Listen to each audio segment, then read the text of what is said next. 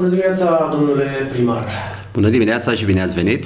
Nu ne mai văzut de câteva luni. Ultima oară când am venit în comuna dumneavoastră ne-ați prezentat realizările din, din comună, am vorbit puțin despre planurile de viitor și am vizitat și uh, acea casă care a ars, în care v-ați implicat uh, atât personal cât și ca instituție. Uh, cum mai merge treaba acolo? Cu acea casă care uh, s-a întâmplat acel necaz asupra celor oameni, casa este terminată.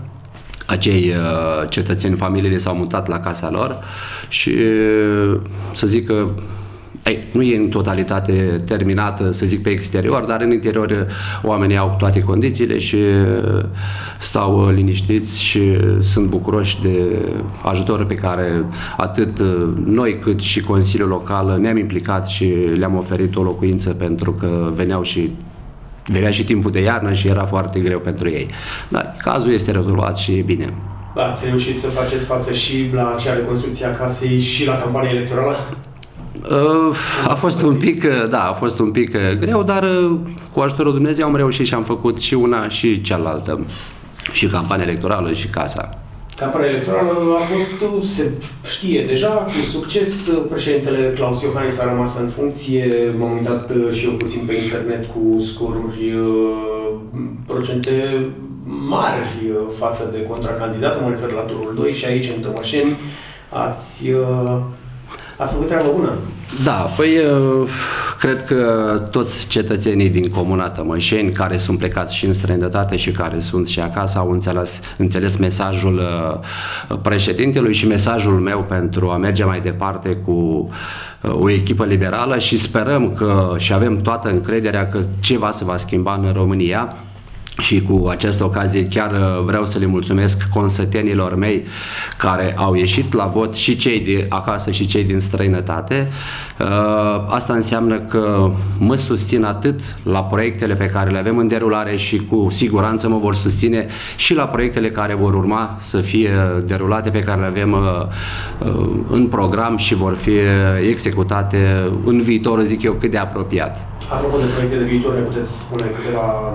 Da, păi avem uh, în derulare un proiect cu să spun, terminarea tuturor străzilor de asfaltat, vorbim de 36 de străzi și asta înseamnă că va fi o investiție și o, o infrastructură de 90% prin asfaltare.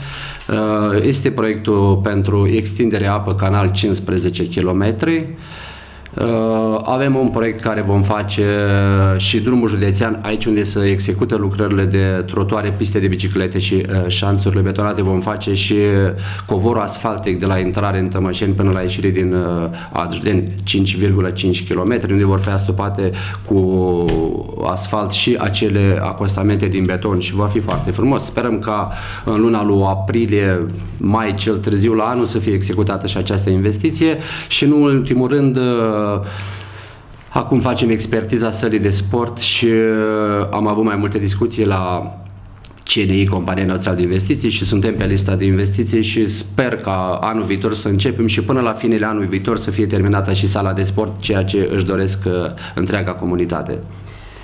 Revenind la, la campania electorală, că s-a încheiat, dar acum putem să o analizăm. Nu? Cum apreciați uh, activitatea contracandidaților în ce privește uh, campania electorală la dumneavoastră în comună? Păi, eu... Cine are mult merit? Cine credeți că și-a făcut treaba? Cine... Eu cred că din punctul meu de vedere echipa liberală pe care uh, o avem la Tămășeni, au muncit în fiecare zi pe tot timpul campaniei și le mulțumesc pe această cale și lor echipii întregi de campanie. Sunt foarte mulți tineri, oameni de afaceri și în general mulți cetățeni care s-au implicat. Da, ceilalți din opoziție, să zic, au muncit în primul tur când au avut candidat, în turul 2 au stat liniștiți, n-au făcut nicio campanie. Deci, cred eu că meritul mare îl are echipa liberală și toți cei care au muncit pentru o cauză. Acum, președintele este penelist, uh, guvernul este PNL. Exact, uh, exact. Cu puțin ajutor în Parlament. Asta cred că au înțeles și uh, consătenii mei din comuna noastră că atât timp cât avem un președinte, un guvern PNL și un primar PNL, lucrurile vor merge cu siguranță altfel de aici încolo. Dacă am făcut atâtea investiții, fiind în opoziție, trebuie să ne dăm și seama că dacă avem un primar PNL și un guvern PNL, lucrurile vor merge altfel pe un făgaș normal, așa cum spunea președintele, într-o țară normală să meargă și lucrurile mai normal decât au mers până astăzi. Am avut un scor foarte bun, am avut, uh, PNL-ul a avut 79,89%, PSD-ul a avut 20,11%. Suntem pe primul loc în județul Neamț, ne mândrim și ne bucurăm de acest uh, rezultat. Și sper că după acest rezultat să avem și uh, acele, să spunem, investiții care noi ne le dorim și ne le-am propus. Cu acest scor cred că nu vom fi uh, marginalizați sau uh, vom fi cu siguranță și vom face lucruri minunate în Comuna Tămășeni și dacă o da Dumnezeu să fie bine și sper că electoratul va înțelege lucrul ăsta, o să ne vedem peste un an, un an și jumătate, să vedeți ce înseamnă Comuna Tămășeni. Va fi, zic eu, una dintre cele mai frumoase comune din județul Neam și vreau să fac chiar și cea mai frumoasă din Moldova. Am ambiții mari și proiecte foarte frumoase.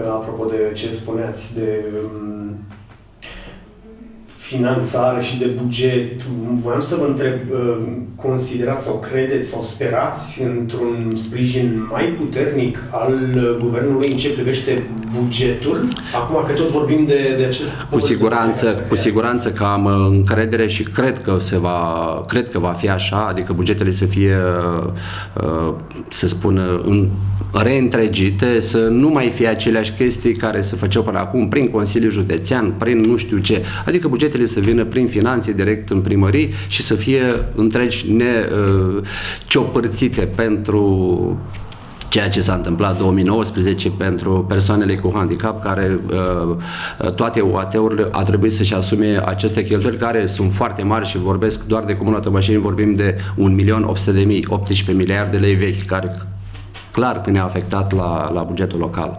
Ne-a fost greu și sper că pe viitor nu se va mai întâmpla lucrul ăsta și atunci altfel va merge și comunitatea. Deci, practic, trăiesc cumva cu speranța că o să... Trăiesc cu speranța și cred. Deci trăiesc cu speranța și cred. Altfel, cred că nu va funcționa nimic sau vom fi judecați pe aceste teme. Nu, cred că va funcționa bine. Cred în normalitate și cred în, într-un viitor mult, mult mai bun și cât se poate de repede.